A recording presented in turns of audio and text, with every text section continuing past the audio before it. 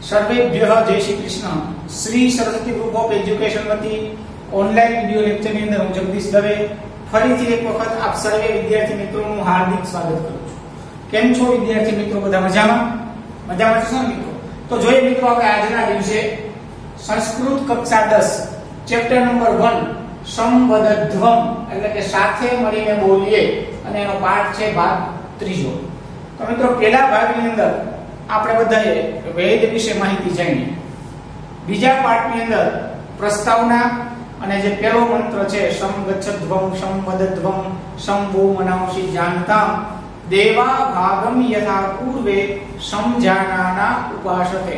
એના વિશે ભણ્યા એ મંત્ર ભણ્યા પછી એનો આપણે અન્વય ભણ્યા એના અઘરા શબ્દાર્થ ભણ્યા એનું ભાષાંતર ભણ્યા અને ખાસ કરીને કે જે એ મંત્ર છે એ આપણી શ્લોક પૂર્તિની અંદર જે સાત શ્લોકો પૂછાય છે, એમાંથી પૂછાય છે, એટલે આપણે બધાએ યાદ રાખવાનું છે. હવે આપણે શરૂઆત કરીએ મંત્ર નંબર બે. બરાબર છે? જોઈએ પહેલા તો આપણે ઉચ્ચારણ કરી લઈએ.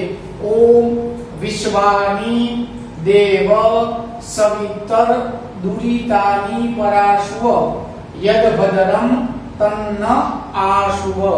ફરીથી એક વખત. વિશ્વાની દેવ સવિતર દુરિતાની જો ખાસ ઉચ્ચારણમાં ધ્યાન આપજો, સવિતર, પછી દ ઉપર રેપ છે. એટલે ર ત ભેગું બોલવાનું સવિતર દુરિતાની પરાશુવ યદભદ્રમ તન્ન. જો આ જે છે ને નિશાની આવી ડ જેવી આવી આવી ડ જેવી નિશાની છે મિત્રો, આને સંસ્કૃતમાં કહેવાય અવગ્રહ. શું કહેવાય? તો કે અવગ્રહ. અને આને છે ને ઉચ્ચારણ આનું અ જેવું થાય. કેના જેવું થાય? અ જેવું થાય. એટલે કે તન્ન આશુવ. ફરીથી એક વખત, વિશ્વાની દેવ સવિતર દુરિતાની પરાશુવ. યદભદ્રમ તન્ન આશુવ.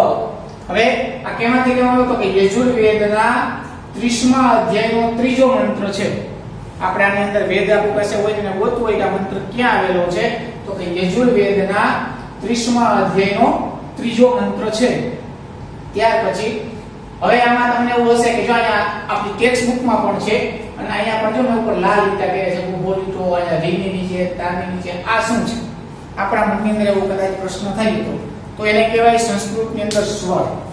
આપણે કદાચ ક્યાંક વેદ પાઠ થતા હોય, ટીવીમાં અથવા તો લાઈવ કે જોયા હોય, તો બધા બ્રાહ્મણો અથવા તો ઋષિમુનિઓ ભેગા મળી અને મંત્રોની સાથે હાથને આમ ચલાવતા હોય.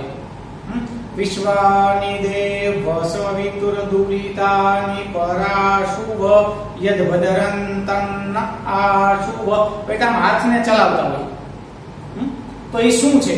તો કે આ સ્વર છે. આ જે સ્વર છે ને, એનાથી હસ્વ દીર્ઘ પ્લુત ઉદાત અનુદાત અને ઉચ્ચારણ એક સરખું થાય. એના માટેથી આપણા વેદની અંદર, સંસ્કૃત ભાષાની અંદર જબરજસ્ત, બરાબર છે? એને આપવામાં આવ્યા છે સ્વર કહેવાય. એના કારણે થઈ અને ક્યારેય કોઈ પણ હસ્વ દીર્ઘની ભૂલ આવતી નથી. ક્યાં વર્ણને ઊંચો બોલવો, ક્યાંને દીર્ઘ બોલવો, એ બધું આ સ્વર ઉપરથી નક્કી કરવામાં આવે છે. હવે આપણે ઉચ્ચારણ જોયું હવે વેદનો મંત્ર છે, તો એને બોલવું હોય, તો કઈ રીતે બોલી શકાય? તો બધા ટેક્સ્ટ બુકની અંદર જોવો અને મારી જોડે બોલજો. ઓમ વિશ્વાની દેવ સવિતુર દુરિતાની પરાશુભ યદ ભદ્રમ તન્ન આશુભ. ફરીથી એક વખત. વિશ્વાની દેવ સવિતર દુરિતાની પરાશુભ યદ ભદ્રમ તન્ન આશુભ બરાબર છે અને આ રીતે રાગની અંદર પણ બોલી શકાય યજુર્વેદના મંત્રો છે બધા આ જ રાગની અંદર બોલે હવે એનો જોઈએ અન્વય શું કહેવા માંગે છે અન્વય એટલે કે આખી આખી વાક્ય રચના મેં પહેલા જ કીધું કે કોઈ પણ શ્લોક હોય અથવા તો મંત્ર હોય તો એનું સીધે સીધું ઉચ્ચારણ કે સીધે સીધો અનુવાદ થાય નહીં, આડા અવળો થાય. બરાબર? એને વાક્ય રચના પ્રમાણે ગોઠવવામાં આવે. તો જોઈએ આપણે કે અહીં ક્યાંથી થાય? તો કે હે એક ખાલી સંબોધન માટે છે ને, કાઉન્સમાં જે વસ્તુ હોય ને, એ આપણે ઉમેરવાની હોય. હે, અહીંથી થાય, દેવ સવિતઃ, વિશ્વાની, જો વિશ્વાની દુરિતાની પરાશુવ. હે, દેવ, પેલા દેવ, પછી તો કે સવિત. આ રેપ છે ને એનો વિસર્ગ થઈ ગયો શસ્ય રૂપો વિસર્ગ સંધિના નિયમ પ્રમાણે એટલે સવિત પછી તો કે વિશ્વાની દુરિતાની પરાશુવ. પછી શું કીધું? કે યદ ભદ્રમ જો અહીંયા સંધિ છૂટી પડી ગઈ. યદ ભદ્રમ ભેગું છે. બરાબર છે? દ નીકળી ગયો. દ અડધો છે, નીકળી ગયો. ને ભ આ બાજુ આવી ભદ્રમ અને યદ યદ ભદ્રમ તન એટલે કે તદ ન છે એનો દ થઈ ગયો. સંધિના નિયમ પ્રમાણે તદ ન. અહીંયા ડબલ નો છે એમાં એક નો છે, એનો શું થઈ ગયો? ન, આ શુવ આ ભેગું થઈ ગયું. ફરીથી એક વખત, હે દેવ સવિત, વિશ્વાની દુરિતાની પરાશુવ, યદ ભદ્રમ તદ ન આશુવ હવે આપણે એના, પહેલા તો એના શબ્દાર્થ જોઈએ. અગ્ર શબ્દો છે, એ જોઈએ એમાં લખ્યા છે. કે સવિત એટલે કે સૂર્યનારાયણ ભગવાન, દુરિતાની એટલે કે ભાઈ દુર્ગુણોને. અહીંયા ઘણા એવું લખે કે દૂર કરો. હે? પણ દુરિતાનો અર્થ શું થાય? દુર્ગુણ, દુષ્કૃત્ય. બરાબર? દુરિતાની પરાશુવ એટલે કે દૂર કરો. પરા, એટલે કે દૂર. શુભ, એટલે કે કરો. પરા શુભ એટલે કે દૂર કરો. ભદ્રમ, એટલે કે શુભ, કલ્યાણકારી. ન એટલે કે અમારા માટે. બરાબર છે? આ ન છે નેગેટિવ નથી. આ છે અમારા માટે. આ શુભ, એટલે કે પ્રાપ્ત કરાવો. ફરીથી એક વખત સવિતા એટલે સૂર્યનારાયણ ભગવાન દુરિતાની એટલે દુર્ગુણોને પરાશુ એટલે દૂર કરો, ભદ્રમ એટલે શુભ કલ્યાણકારી ન હોય એટલે અમારા આ શુભ એટલે પ્રાપ્ત કરો. હવે આપણે અર્થ કરીએ કે હે સંબોધન વાચક છે. હે? વિભક્તિ આવે ને આપણે, એમાં અષ્ટમી વિભક્તિ આવે ને સંબોધન કહેવાય. કે હે દેવ સવિતા એટલે કે હે સૂર્યનારાયણ દેવતા, હે સૂર્યનારાયણ દેવતા વિશ્વાની, એટલે કે વિશ્વના બધા જ દુરિતાની, એટલે કે દુર્ગુણોને દુષ્કૃતિઓને પરાશુવ, એટલે કે દૂર કરો. હે સુનારાયણ ભગવાન, વિશ્વના બધા જ દુર્ગુણોને, દુષ્કૃતિઓને દૂર કરો. અને યદ ભદ્રમ, યદ એટલે કે જે ભદ્રમ એટલે કે કલ્યાણકારી છે, તદ એટલે કે તે બધું ન એટલે કે અમને અમને બધાને આ શુભ એટલે આ શુભ અર્થ શું થાય? પ્રાપ્ત કરાવો. આનો અર્થ શું થયો? હે સૂર્યનારાયણ દેવતા, અથવા તો હે સૂર્યનારાયણ ભગવાન, વિશ્વની અંદર જેટલા પણ દુર્ગુણો છે દુષ્કૃતિઓ છે એ બધાને દૂર કરો. અને જે કલ્યાણકારી છે, જે અમારા માટે શુભકારી છે, એ અમને પ્રાપ્ત કરાવો. આ મંત્રની અંદર સૂર્યનારાયણ ભગવાનને પ્રાર્થના કરવામાં આવી છે. શું કામે તો કે સૂર્યનારાયણ ભગવાન છે ને મિત્રો, એ જગતના સાક્ષી દેવ છે, જગતના પ્રત્યક્ષ દેવ છે. સૂર્ય વગર આ પૃથ્વી ઉપર રહેવું માની લે તો અશક્ય નહીં, પણ છે જ જીવન છે જ સૂર્ય જ ન હોય તો આ પૃથ્વી પણ આપણે તમે કે હું કે કોઈ પણ વ્યક્તિ કે વસ્તુ પદાર્થ રહી શકે નહીં, હે? પ્રકાશ વગર તો આપણે રહી શકવાના જ નથી. એટલે કે સૂર્યનારાયણ ભગવાનને આ પૃથ્વીના સાક્ષાત દેવ માનવામાં આવે છે. અને સૂર્યનારાયણ ભગવાનને સ્તુતિ કરવામાં આવી છે. તમે જોજો, આપણા ચામડીના કે રોગ થાય ને ત્યારે ડોક્ટર નાના બાળકને કે એવું કહે કે આને તમે છે ને સંબાથ આપણે ઘણી વખત સંબાથ લેતા હોય સૂર્યના કિરણો, સવારમાં જે સૂર્યના કિરણો હોય ને, એ આપણા શરીર માટે ખૂબ જ આપણને નિરોગીતા પ્રદાન કરે છે. એટલે માટે કીધું કે, હે સૂર્યનારાયણ ભગવાન, તમે બધા દુષ્કૃતિઓ, એટલે બધા જે દુર્ગુણો છે, અને અત્યારના સમયમાં ખાબત લાવવું પડે કે આવી મહામારીઓ જે કઈ આવતી હોય, હે, તો સૂર્યનારાયણ ભગવાનને પ્રાર્થના કરે કારણ કે પૃથ્વીના સાક્ષાત દેવ છે, જેને આપણે જોઈ શકીએ. બાકી બધા ભગવાનો છે એને આપણે ક્યારેય જોયા નથી. ફોટામાં જોયા હોય. પરંતુ સૂર્યનારાયણ તો સાક્ષાત દેવ છે. એટલે સૂર્યનારાયણ ભગવાનને પ્રાર્થના કરવામાં આવી ઋષિઓ દ્વારા હે સુનાર ભગવાન, હે સુનાર દેવ, તમે આ વિશ્વની અંદર જેટલા પણ દુર્ગુણો છે, જે દુષ્કૃતિઓ છે, જે દુષ્પાપો છે, એ બધાને તમારા કિરણો વડે તમારી શક્તિ વડે બાળીને ભસ્મ કરી નાખો અને જે કલ્યાણકારી છે, જે શુભકારી છે, એ અમને બધું પ્રાપ્ત કરાવો. હવે એનો અનુવાદ જોઈ લઈએ કે હે સુનાર દેવ, તમે સર્વ દુષ્કૃતિઓને, દુર્ગુણોને દૂર કરો અને જે શુભ હોય તે અમને પ્રાપ્ત કરાવો. સમજ્યા પછી એક વખત? આ મંત્ર છે બીજો, એનો અન્વય છે એના અગ્ર શબ્દો છે. આ સિવાયના જો સવિત એટલે કે સુનાક દેવ એટલે કે દેવતા, પછી વિશ્વાની એટલે કે વિશ્વના દુરિતાની એટલે કાંઈ લખ્યું જ છે મેં પરંતુ જે ન સમજાય, એ તમે તમારી બુકની અંદર નોટ કરતા જજો. હવે આપણે એના વિશે સમજૂતી મેળવી તો તો સમજૂતીમાં મેં પહેલો પોઈન્ટ લખ્યો છે કે ઋષિની પ્રાર્થના. હવે આ મંત્રમાં ઋષિએ પ્રાર્થના કરી છે. ઋષિએ સૂર્યનારાયણ ભગવાનને પ્રાર્થના કરી છે. કોની પ્રાર્થના કરી? છે ઋષિ, વેદોના મંત્ર દ્રષ્ટા કોણ છે? તો કે ઋષિ. એટલે ઋષિએ પ્રાર્થના કરી છે. કેવી પ્રાર્થના કરી છે? તો કે ઋષિ જો ધારક તો પોતાના માટે, પોતાના પરિવાર માટે, પોતાના કુટુંબ માટે, અથવા તો પોતાનો જે સમાજ છે, અથવા તો પોતાના રાષ્ટ્ર માટે પ્રાર્થના કરે છે. પરંતુ અહીંયા ઋષિએ શું કહ્યું છે? તો કે પોતા માટે નહીં, પોતાના પરિવાર માટે પણ નહીં, પરંતુ વિશ્વની શું કીધું? વિશ્વની આખા વિશ્વ માટે પ્રાર્થના કરી છે. શું પ્રાર્થના કરી છે? હે સુના ભગવાન, તમે અમારા પર એવી કૃપા કરો કે મારા બધા જે દુષ્કૃતિઓ છે, જે દુર્ગુણો છે, એ બધાને દૂર કરો અને જે સારું છે, જે મારા માટે કલ્યાણકારી છે, જે મારા માટે શુભકારી છે તમને પ્રાપ્ત કરાવો. બધી દિશાઓ આશાઓ એટલે બધી દિશાઓમાંથી અમારું કલ્યાણ થાય. દિશાઓ કેટલી છે? તો કે દસ. પૂર્વ, પશ્ચિમ, ઉત્તર, દક્ષિણ. ઈશાન અગ્નિ નૈઋત્ય વાયવ્ય ઉપર આકાશ અને નીચે પાતાળ તો કે દસે દિશાઓમાંથી મારું રક્ષણ થાય એવી હે સૂર્યનારાયણ ભગવાન, તમે મારા પર પ્રાર્થના કરો. શું કામ સમજાવું છું? તો કે આ પ્રશ્ન છે ને પૂછાય છે. અને બે માર્ક્સમાં પૂછાશે. એટલે સમૃદ્ધિ ખાસ યાદ રાખજો. પછી બીજો મેં પોઈન્ટ શું લખો તો કે દુષ્કૃત્યોને દૂર કરો? પહેલા પ્રાર્થના કરી ઋષિએ સૂર્યનારાયણ ભગવાનને મંત્ર બોલીને, મંત્ર લખીને પ્રાર્થના કરી અને પછી શું કીધું? તો કે બધા જ દુષ્કૃત્યોને દૂર કરો. હે? ખાલી મારા ઘરમાં જ નહીં, મારા પરિવારમાં જ નહીં, પરંતુ આખા વિશ્વની અંદર જેટલા પણ દુષ્કૃત્યો છે, જે દુર્ગુણો છે, હે સૂર્યનારાયણ ભગવાન, તમે એને દૂર કરો. અને ત્રીજું તો વિશ્વ કલ્યાણની ભાવના, જો. એટલે જે ઋષિ છે, આપણે બધા છે કેવા છે સેલ્ફિશ આપણે બસ આપણા માટે બીજાનું જે થવું તે થાય પણ આપણું સારું થવું જોઈએ. બીજાનું ખરાબ કરીએ કરીને આપણું સારું થવું જોઈએ. આપણી બધાની ભાવનાઓ એવી છે. પરંતુ હકીકતની અંદર કેવી ભાવના હોવી જોઈએ? તો કે વિશ્વ કલ્યાણની ભાવના હોવી જોઈએ વસુધૈવ કુટુંબકમ, આખી પૃથ્વી, આપણું પરિવાર છે, આપણું કુટુંબ છે, એવી ભાવના હોવી જોઈએ. હે, વિચારો સારા હોવા જોઈએ. શું હોવું જોઈએ? સદ વિચારો આપણા જો મનની અંદર વિચારો સારા હશે ને મિત્રો, તો આપણે બધું જ સારું કરી શકશું. નેગેટિવ વિચારો આવી જાય, તો આપણે જરા પણ આગળ વધી શકશું નહીં. એટલે આ મંત્રની અંદર વિશ્વ કલ્યાણની ભાવના દર્શાવવામાં આવી છે.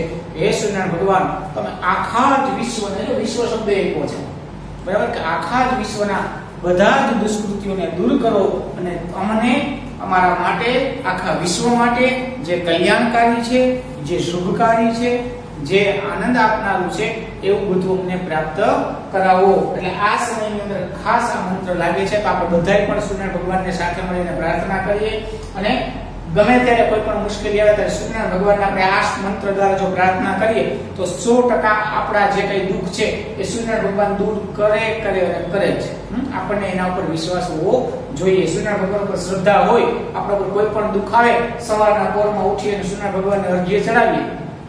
અને આ મંત્ર બોલીએ, એટલે વિશ્વ, એટલે કે ભગવાન સૂર્યનારાયણ ભગવાન છે, એ ખરેખર આપણા બધા જ માટે થઈ અને બધા જ આપણા દુર્ગુણોને દૂર કરશે. સો ટકા જોઈએ મંત્ર નંબર ત્રણ. ત્યાર પછીનો મંત્ર, એનો પહેલા ઉચ્ચારણ જોઈ લઈએ. અનુવ્રત પિતુઃ પુત્રો માતરા ભવતુ સમનાહ. અનુવ્રત પિતુઃ પુત્રો માતરા ભવતુ સમનાહ. જાયા પત્યે મધુમતી વાચમ વદતુ શાંતિવમ. જાયા પત્યે મધુમતી વાચમ વદતુ શાંતિમાં. આ મંત્ર કેમાંથી લેવામાં આવ્યો છે? તો કે જે પહેલો મંત્ર હતો મિત્રો આપણી ટેક્સ્ટબુકની અંદર, એ સામવેદમાંથી ઋગ્વેદમાંથી લેવામાં આવ્યો.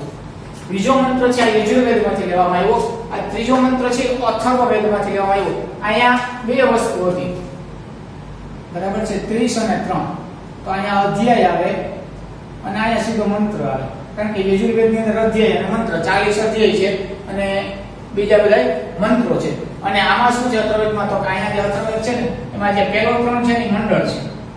એને શું કહેવાય? મંડળ. પછી બીજા જે 30 છે એને કહેવાય સૂક્ત. અને ત્રીજો જે છે ને, એને મંત્ર કહેવાય. બરાબર છે? મંડળ, સૂક્ત અને મંત્ર. હવે આપણે આ મંત્રને અથર્વવેદ આપણી પાસે હોય અને ગોતવું હોય, તો આપણે કેમ ટેક્સ્ટ બુક હોય તમે કીધું હોય કે ભાઈ પાંચમો પાઠ કાઢો. એટલે આપણે સીધે સીધા અનુક્રમણિકામાં જોઈએ. પાંચમો પાઠ હોય, સીધા પેજ નંબર જોઈએ કે ભાઈ 20 માં પેજ ઉપર પાંચમો પાઠ છે તો સીધું 20મું પેજ કાઢીએ અને પાંચમો પાઠ આવી જાય. એવી જ રીતે અથર્વવેદ હોય, તો એની અંદર ત્રીજું મંડળ બરાબર છે? પછી 30મું સૂક્ત, પહેલા કરીને આપણે જોવાનું, ત્રીજું મંડળ ક્યાં છે? એ ખોલવાનું. પછી એમાં 30મું સૂક્ત ક્યાં છે? તો ઈ જોવાનું. અને એની અંદર બીજો મંત્ર, એટલે કે આપણું આ? અથર્વવેદના ત્રીજા મંડળના 30મા સૂક્તનો બીજો મંત્ર, એટલે કે આવો આ મંત્ર છે. ફરીથી એક વખત એનું ઉચ્ચારણ જોઈ લઈએ. અનુવ્રતઃ પિતુઃ પુત્રો માતરા ભવતુ સંમનાઃ જાયા મધુમતી વાચમ વદતુ શાંતિવામ. આને આપણે બોલવું હોય, રાતની અંદર તો કઈ રીતે બોલી શકાય? અનુવ્રતઃ પિતુઃ પુત્રો માતરા ભવતુ સંમનાઃ જાયા પત્યે વાચમ વદતુ શાંતિવામ અલગ અલગ વેદોના મંત્રો અલગ અલગ રીતે બોલાય. ફરીથી એક વખત બોલું. અનુવ્રતઃ પિતુ પુત્રો માત્રા ભવતુ સંમનાઃ જાયાપત્યે મધુમતીમ વાચમ વદતુ શાંતિવામ આ મંત્ર ભણ્યા. હવે આપણે એનો અન્વય જોઈએ. શું કીધું? અન્વય. અન્વય એટલે કે એનો અર્થ કરવા માટે છે ઉપયોગી આપણે જે વાક્ય રચનામાં ગોઠવીએ તે વાક્ય રચના જોઈએ પુત્ર ક્યાંથી ચાલુ થાય તો ક્યાંથી ચાલુ થયું? પુત્ર પછી પાછળ આવ્યા. પિતુ અનુવ્રત. એનું વાક્ય શું છે? પુત્ર પિતુ અનુવ્રત. પુત્ર પિતુ અનુવ્રત.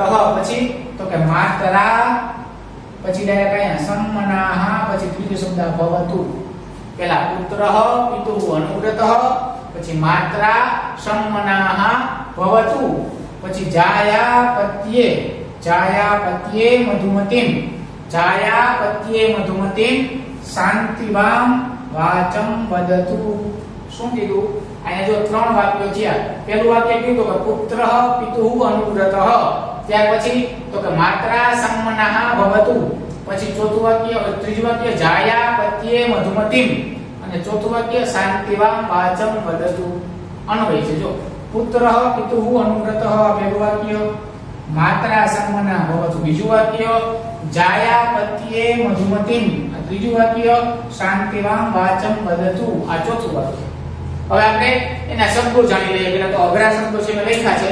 બાકી તમે નોટ કરતા જજો જો તમારે બીજા શબ્દ લખો. અનુવ્રત એટલે કે વ્રત જાળવનાર સમ્મના એટલે સમાન વિચારો વાળો જાયા એટલે પત્ની પતિ એટલે પતિની સાથે મધુમતી એટલે મધુર અથવા તો પ્રિય શાંતિવામ એટલે કે શાંતિપૂર્ણ વાચમ એટલે કે વાણી અને વદતુ એટલે કે બોલો. હવે આપણે એનો અર્થ કરીએ. કીધું જોઈએ, અઘરા શબ્દો પણ આવી ગયા શબ્દાર્થ આવી ગયા. હવે આપણે એનો અર્થ કરી શું કીધું? તો કે પુત્ર એટલે કે દીકરો, પુત્ર પિતુઃ એટલે કે પિતાના અનુવ્રત. એટલે કે વ્રતની જાળવનાર અથવા તો વ્રતની પાછળ ચાલનારો હોય. દીકરો કેવો હોવો જોઈએ? તો કે પિતાના જે વ્રત હોય ને બરાબર છે? એ વ્રતને જાળવનાર, એની પાછળ એના વિચારો પાછળ ચાલવાનો પછી તો કે માત્રા સંમનાહ ભવતુ. માત્રા એટલે કે માતાની સાથે સમ્મનાહ જો લખ્યું એટલે કે સમાન વિચાર વાળો ભવતુ એટલે કે થાવો. પુત્ર પિતાના વ્રતોની પાછળ ચાલનારો. બીજું તો કે માત્રા એટલે કે માતાની સાથે સમાન વિચારો વાળો જાયા જાયા શબ્દનો અર્થ થાય પત્ની. તો ખાસ યાદ રાખજો, જાયા શબ્દનો અર્થ થાય પત્ની. આ પૂછાઈ શકે, ભાઈ, જાયા શબ્દનો સમાનાર્થી લખો. જાયા શબ્દનો સમાનાર્થી લખો તો કે ભાગ્ય આવે, જાયા આવે, બરાબર છે? તો જાયા એટલે કે પત્ની, પત્યે, પત્ય એટલે કે પતિ શબ્દ. આનો અર્થ થાય પતિ. બરાબર છે? પત્નીએ પતિની સાથે મધુમતી, એટલે કે એકદમ મધુરપૂર્ણ શાંતિવામ. બરાબર છે? શાંતિપૂર્ણ વાચમ. એટલે કે વાણી ઉચ્ચારવી જોઈએ, વધતું એટલે કે બોલવી જોઈએ. શું કરવું જોઈએ? તો કે દીકરાએ પિતાના વ્રતની પાછળ ચાલનારો હોવો જોઈએ, માતાની સાથે સમાન વિચારો વાળો હોવો જોઈએ. પછી તો કે પત્નીએ પતિની સાથે મધુર અને શાંતિપૂર્ણ વાણી બોલવી જોઈએ. આપણે અનુવાદ જોઈ લઈએ. તો કે પુત્ર પિતાના વ્રતની પાછળ ચાલનારો. એટલે કે પિતાનું વ્રત હોય કે પિતા ગુરુવાર રહેતા હતા, મારા બાપુજી ગુરુવાર રહેતા એટલે મારે ગુરુવાર રહેવાના. એવું વ્રત તો કે ના, એવું વ્રત નહીં. તો તો અહીંયા વ્રતની વાત કરવામાં આવી છે, પણ પૂર્વની પરંપરા. આપણા જે પૂર્વના રિવાજો છે, પહેલેથી ચાલ્યા આવે છે, આપણા બાપદાદા વખતના આપણા પરિવારની અંદર જે રિવાજો છે, એ રિવાજો તોડવા જોઈએ નહીં, ક્યારેય પણ. આપણી પૂર્વની જે પરંપરા છે, એ દર પેઢી દર પેઢી આગળ ધપતી હોય આપણે વધારે એટલે એ વ્રતની પાછળ ચાલનારો માતાની સાથે સમાન વિચારો વાળો એટલે કે માની સાથે એકદમ સમાન વિચાર વાળો થવો જોઈએ.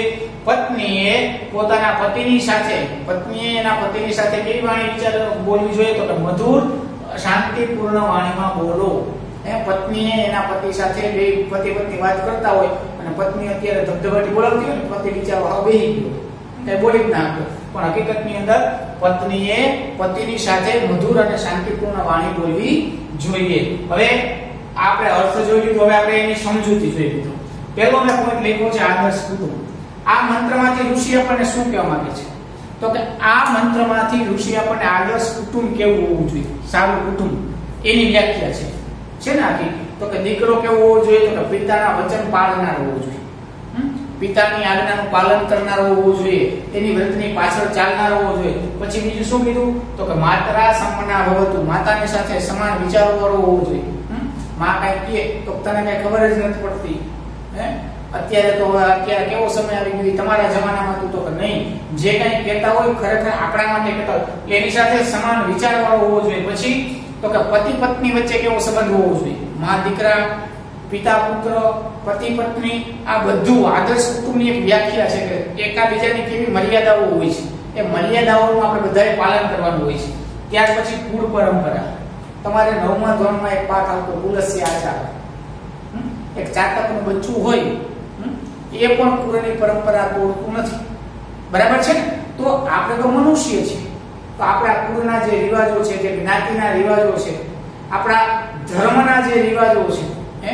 એ બધા ધર્મના રિવાજો, જ્ઞાતિના કુળના જે રિવાજો છે, આપણા જે ધર્મશાસ્ત્રો છે, એના અભ્યાસ કરવા જોઈએ. ગુરુ શિષ્ય વચ્ચેનો સંબંધ કેવો હોવો જોઈએ? એ બધા જ જે પરંપરાઓ છે, એ પરંપરાનું આપણે બધાએ વ્યવસ્થિત પાલન કરવું જોઈએ. પછી કીધું માતા પુત્ર, પ્રેમ? માતા અને દીકરા વચ્ચેનો જે પ્રેમ છે એ અલૌકિક પ્રેમ છે. એવો પ્રેમ આ દુનિયામાં કોઈ છે જ નહીં. મા દીકરાનો જે પ્રેમ છે ને, એવો ક્યાંય છે જ નહીં. પરંતુ અત્યારે શું થઈ ગયું? વન સાઈડ થઈ ગયું. માં તો હજી એવી ને એવી જ છે. પેલા હતી એ મામા કાંઈ ફેર પડ્યો નથી. માં તો એવી જ પ્રેમ કરે છે. પરંતુ દીકરો માને પ્રેમ કરવામાં ભૂલતો જાય. મોટો થાય ને, જેમ જેમ પત્ની આવે એટલે માં ભૂલાઈ જાય પણ હકીકતની અંદર માતા પુત્ર વચ્ચેનો જે પ્રેમ છે એ અલૌકિક હોવો જોઈએ એ પણ આ પાઠની અંદર સમાજ એની સાથે સમાન વિચારો વાળો ભલે ગમે એવી હોય, આપણા ભલા માટે જ કહેતી હશે, એટલે એની સાથે સમાન વિચારવાળો બનવાનું પછી વ્યવહારનું જ્ઞાન? આ બધું કેવું છે તો કે આદર્શ કુટુંબ, જો તમારું કુટુંબ સારું હશે, તો સામાજિક વ્યવહાર તમે જે કંઈ કરશો ને બધા સારા જ થશે? વિચારો સારા હશે, હે? તો સમાજની અંદર તમારી પણ એક નામના થશે. એટલે કે વ્યવહારનું જ્ઞાન આ મંત્ર દ્વારા ઋષિ આપણને સમજાવવા આવે છે. છેલ્લે શું કીધું? તો કે પતિ પત્નીની સમજ. ખાસ અત્યારના સમયની અંદર? પતિ પત્ની વચ્ચે ખૂબ જ મિસ અન્ડરસ્ટેન્ડિંગ થઈ છે. બે માણસોને કંઈક ને કંઈક ઊભું ઝઘડાઓ થતા હોય છે. પરંતુ ખરેખર એ ઝઘડાઓ થવા જોઈએ નહીં. જો ઘરની અંદર સ્ત્રીની સન્માન જાળવવામાં આવશે, યત્ર નારીસ્તુ પૂજ્યંતે રમંતે તત્ર દેવતા, કે જે ઘરની અંદર નારીનું સન્માન થાય છે, જે ઘરની અંદર સ્ત્રીનું સન્માન થાય છે, એ ઘરની અંદર દેવતાઓ પણ રાજી થઈને રમે છે.